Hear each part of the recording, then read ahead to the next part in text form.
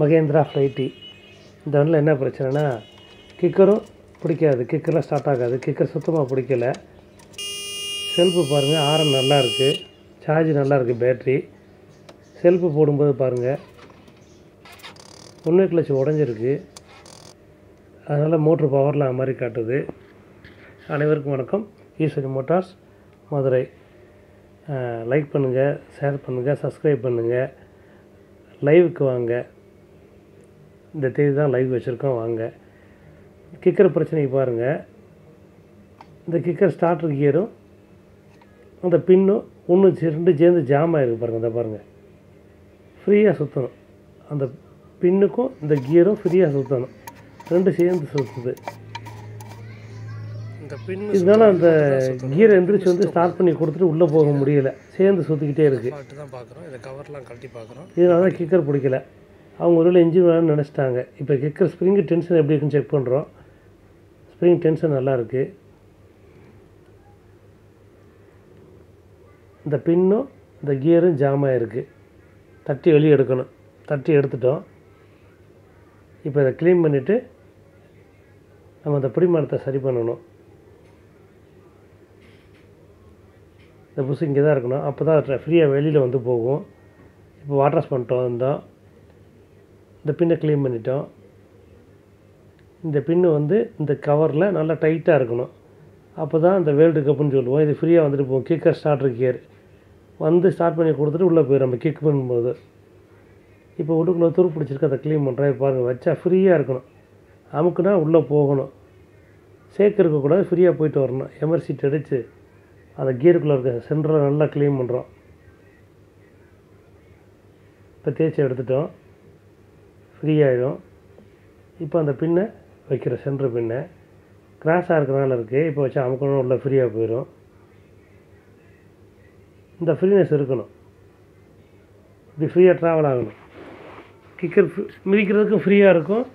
Kicker கீரை அழகாக start ஆகிட்டு வெளியே வந்துடும் ஸ்டார்ட் பண்ணி கொடுத்துட்டு வெளியே அந்த இடத்துக்கு பழைய இடத்துக்கு வந்துடும் அந்த பின்னை நல்லா அடமாட்டை போட்டு ஒட்டியாச்சு. இந்த பேஸ்ட்டு தான். பேனர் ஒட்டுற பேஸ்ட்டை போட்டு ஒட்டியாச்சு. கீழே வந்து அந்த பல்லுக்கு தகுந்தாப்பில் டீத்துக்கு தகுந்தாப்பில் கிரீஸ் வச்சுட்டோம். மேலே கிளிப்புக்கு தகுந்தாப்புல ஆயில் போட்டுவிட்டோம் இப்போ மாட்டி செக் பண்ணி காட்டுறோம் பாருங்கள் இந்த வண்டியில் வந்து செல்ஃபும் இருக்காது. முதல் ஒரு பிரச்சனை முடிப்போம் அடுத்த பிரச்சனை அடுத்து பார்ப்போம். ஏன்னா வண்டி ஸ்டார்ட் பண்ணோம்ல வண்டி கொஞ்ச நேரம் ஓட்டம் நிப்பாட்டிட்டாங்க. செக் பண்ணி பார்க்கணுன்றக்காக ஸ்ப்ரிங்குக்கு நல்ல நம்ம பேரிங் பால்ஸுக்கு கிரீஸ் வைக்கிற மாதிரி நல்லா உள்ளே அமுக்கி அமுக்கி வச்சுட்டோம். வச்சுட்டு தொடச்சி எடுத்துருவோம். இப்போதைக்கு வச்சுருக்கோம். இப்போ கவரை மாட்டிட்டோம். ஸ்டார்ட் பண்ணி கட்டுறோம் பாருங்கள் ஆடியோ பாருங்கள் இப்போ காலை வச்சு மிதி.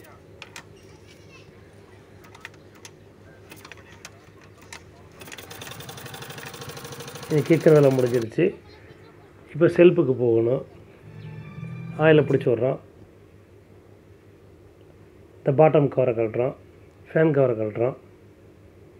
Silencer fan லீஃபை கழட்டுறோம். மூணு போல்டு. மேனட்டை கழட்டுறோம்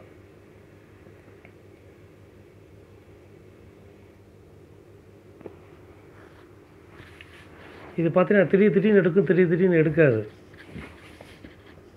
அவங்க லேடி ஓட்டிகிட்டு இருந்தாங்க. எப்போ ஸ்டார்ட் ஆகும்னு சொல்ல முடியாது. கிக்கரும் பண்ண முடியாது செல்ஃபும் பண்ண முடியாது. ஓரம் கட்டி நிப்பாட்டிட்டாங்க வண்டியை. இங்கே வந்து அந்த ரப்பர் இருக்கும். அந்த ரப்பர்லனா சவுண்டு வரும். அதனால் இங்கே டேப் போட்டு மாட்டிடணும். நல்லா டேப் போடணும். முடிஞ்ச ரப்பர் போடணும். இல்லைன்னா டேப் போடணும் ரப்பர் கிடைக்கல ஆனால் டேப் போட்டாச்சு. சத்தம் இல்லாமல் ஓடும்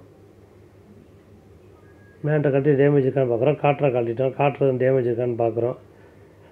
இதில் வந்து பார்த்திங்கன்னா எல்லா போட்டு பெரிய போட்டு வரும். ஒரு ரொம்ப ஒரு ஒரு குட்டை போட்டு மித்தபடி எல்லாமே பெரிய போட்டு வரும். இந்த போட்டு தான் சின்ன போல்டு. மித்தபடி எல்லா போட்டு பெரிய போட்டு இதில் கவனிக்க வேண்டிய விஷயம் என்னென்னா அந்த பிளேட்டு தான். இந்த பிளேட்டு பார்த்தீங்கன்னா பிக்கப் காயிலுக்கு உண்டான காயில் வயர் வந்து மேனட்டில் படாமல் இருக்குன்ற இதை மாற்றி மாட்டிடுவாங்க. இப்படி மாற்றி மாட்டிட்டாங்கன்னா பிக்கப் காயிலேருந்து வர கரண்ட்டை கட் பண்ணி விட்ரும் இந்த தடம் இருக்குது பார்த்தீங்களா அந்த இடம் தான். இப்போ நம்ம கழட்டிட்டு இது ஸ்பேர்ஸ் வாங்கி மாட்ட போகிறோன்றனால வயர் டேமேஜ் ஆயிரும்ன்றக்காக அதை கட்டுக்கும் போயிடுச்சு க ஒரு கயிறை கட்டி மேலே இழுத்து பழைய வயர் ஆயிடுச்சுல வயர் டேமேஜ் ஆகிடக்கூடாதுன்றக்காக கழட்டிட்டு வேலை முடிச்சுட்டு அப்படியே தூக்கி கவரை போட போகிறோம் ஸ்பேர்ஸ் வாங்கி வாங்கி தான் மாட்டணும். செகண்ட் செகண்ட்லாம் வாங்கி போட போகிறோம் செல்ஃப் ஸ்டார்டர் கியர் இதான் ஒன் வே கிளச்சு திடீர் திடீர் ஸ்டார்ட் ஆகும் திடீர் திடீர் ஸ்டார்ட் ஆகாது. சைக்கிள் பிரிவு டைப்பில் வர்றது. அதோட நட்டு பார்த்தீங்கன்னா லெஃப்ட் மரை நம்ம டைட் வச்சா லூஸ் ஆகும். அதிலே எழுதியிருப்பாங்க. இதான் உண்மை கிளச்சா தான் நட்டை கட்டியாச்சு. ஒரே ஒரு வாசரு. உண்மை கிளச்சா கட்டியாச்சு. இது பாருங்கள் ஒரு பக்கம் ஃப்ரீயாக வரும் ஒரு பக்கம் லோடாகும் ஆகும். இப்போ அதை எக்ஸ்சேஞ்ச் பண்ணிட்டு செகண்ட் ஹேண்டில் ஒன்று வாங்கிட்டு வந்துட்டோம். இப்போ மாட்ட போகிறோம் இது எப்படி ஃப்ரீயாக இருக்குது பாருங்கள் நம்ம கையை சேர்த்து சுற்றுது பாருங்கள் அவ்வளோ இதான் ஒன்றுமே கிளச்சு இது ஆயில் பம்பு வீலு. அந்த ப மூணு போல்ட்டு கவனிச்சிருப்பீங்க அந்த மூணு போல்ட்டு பெரிய சைஸ் சில சமயம் போட்டு விட்டாங்கன்னா அந்த ஆயில் பம்பு டேமேஜ் ஆகிக்கிறோம் அதனால் செக் பண்ணி பார்த்துக்கணும் மாட்டிட்டு சுற்றி விட்டு பார்த்துக்கணும் ஆயில் பம்ப் ஃப்ரீயாக வேலை செய்யுதா? இந்த புஸ்ஸுக்கிட்ட எதுவும் டேமேஜ் இருக்கான்னு செக் பண்ணிக்கணும். நம்ம கழட்டி பார்க்கும்போதே இந்த டீத்து கரெக்டாக இருக்கா?